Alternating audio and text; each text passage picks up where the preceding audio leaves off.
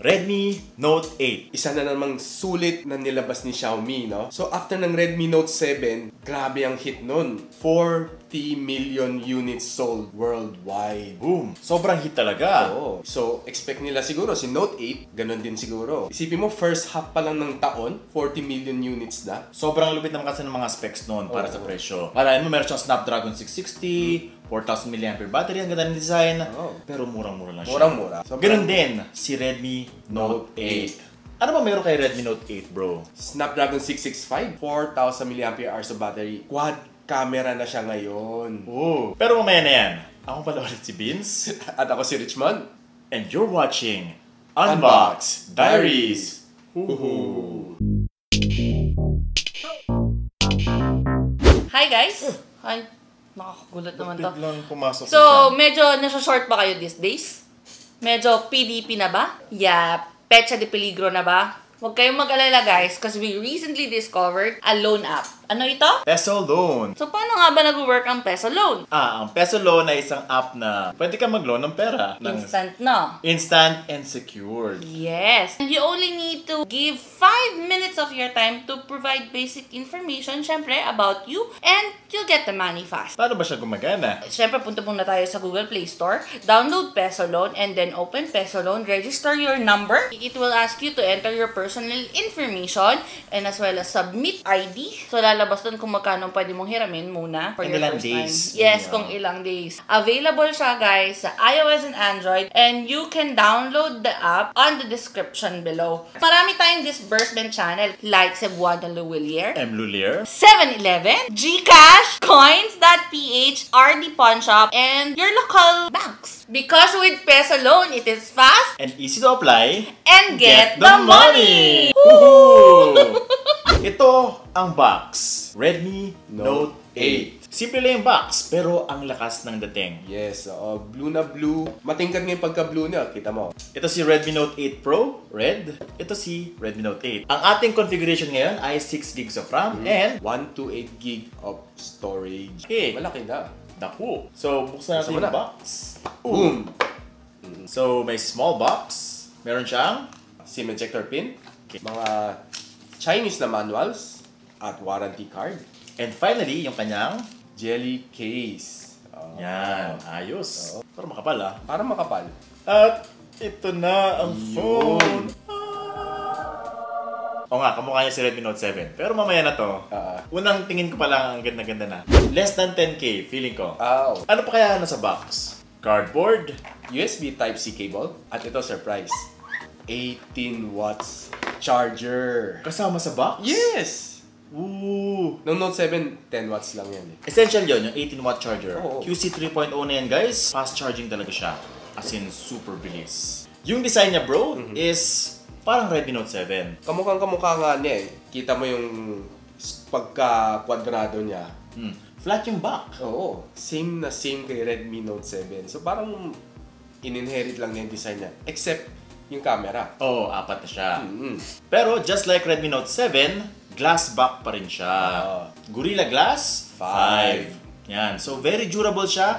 Tinapak-tapakan din siya. Mhm. Pero walang gasgas. Wala, wala. Oo. Yan. Isa sa mga pinakamatibay na phones out there, talagang ini-stress test yan. Pero yung itsura niya Mhm. ay may kamuka. Meron. Huawei P30.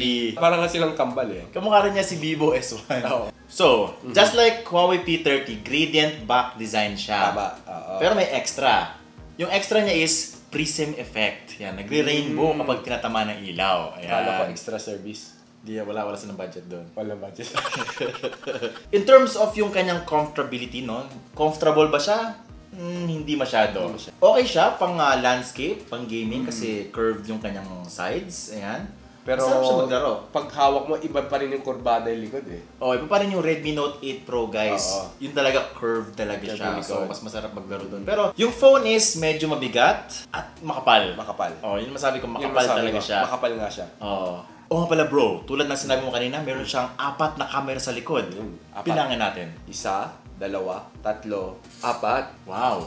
Tapos 48 megapixel na. So meron siyang ultra wide angle lens, macro lens, at yung depth sensor. Tama. So mamaya check natin lahat yan, yung kanyang quality. Meron siyang LED flash, fingerprint scanner, at yung kanyang logo. Parang si Redmi Note Actually, 7 pansin mo talaga. lahat ngayon ng mga manufacturer, sobrang s- nililinis na yung likod ng phone eh. Kahit Sobrang si linis. iPhone 11 Pro, wala na rin mga iPhone na word sa baba. Wala, tinanggal na nila lahat eh. Minimalistic, Minimal kumbaga. sa Sa sides yung usual bro, meron siyang power button. volume rocker. Sa left side, yung kanyang SIM tray. At syempre, meron siyang dual nano SIM slot at dedicated micro SD slot. up to 256 gig of expansion.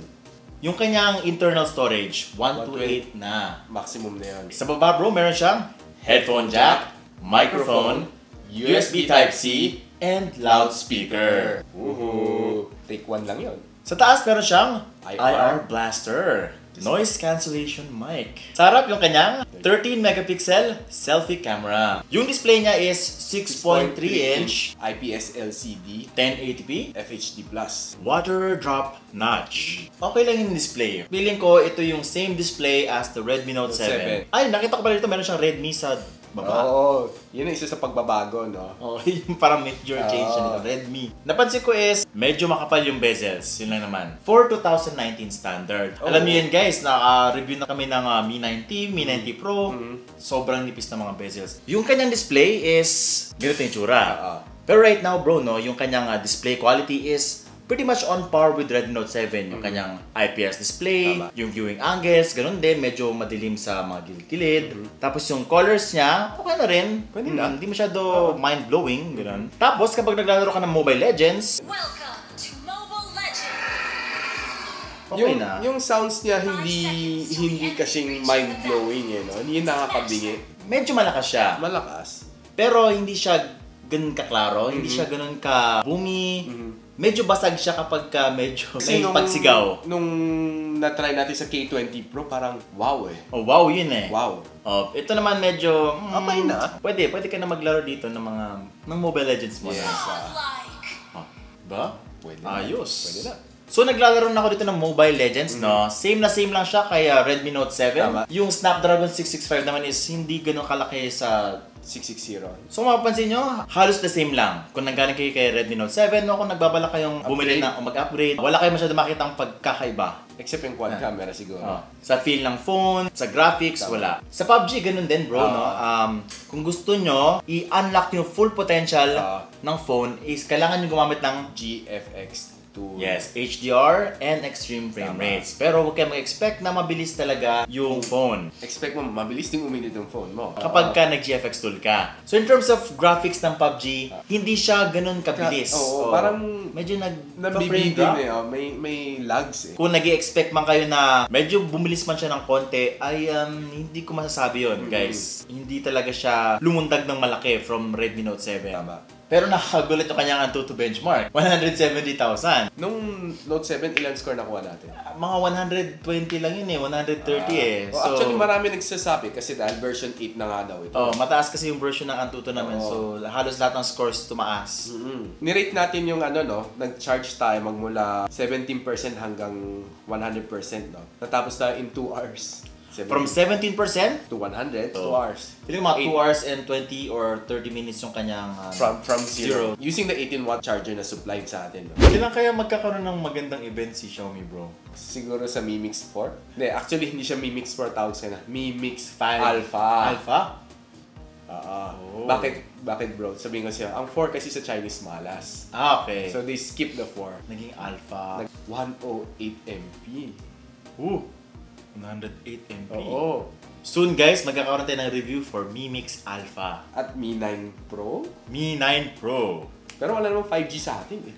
Oo nga. Yung camera niya is yung major improvement niya Ah. from Redmi Note 7. Yun. And uh, kung photography lang naman yung inyong habol, well, meron kang apat na camera dito. So nadagdagan siya ng macro lens. So, yung kanyang camera dito is nakaka-impress. For an entry level, no? Kasi wala akong masyadong ini-expect kapag ka ganito yung presyuhan. Feeling ko talaga less than 10,000 pesos siya dahil kay Redmi Note 7. Ganun lang yung presyuhan niya, guys. Ah. Sharp yung photos, yung image quality, on point, malakas yung Tama. dating, um, malinaw siya. Tapos tingnan mo pa yung mga night shots niya eh. Oo nga eh. Malinaw Night na mode, malinaw. oh, malinaw. Yung mga plants, yan, green na green siya. Yung iba kasi, nawawalan ng quality Wala, sa gabi. Na nagbe-blur out. Nag-grainy. Oh, grainy. Oo. Oh, ito okay Hindi, pa rin okay pa rin siya. Okay, okay Oo. siya. Okay. Meron din siya night mode. Pwede siya sa Gcam guys. So kung gusto niya install ng Gcam, Mm. pwedeng pwede yan.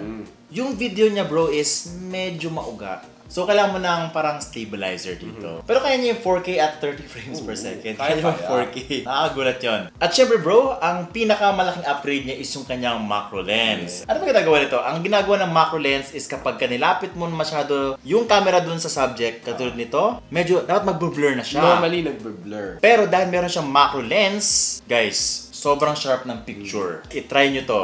Nakakaaliw.